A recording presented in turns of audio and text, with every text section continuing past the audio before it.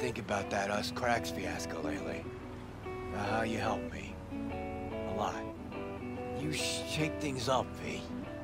Before you came along, I was stuck in the mud. And now? Got me thinking about a new song. A new album, even. A real fucking thrasher with a new soul.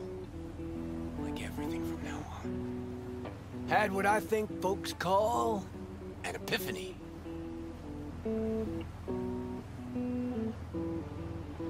That could just be what folks call maturity. You'll see. No more mayhem, no more shady-ass schemes. Done with that. Well, starting tomorrow.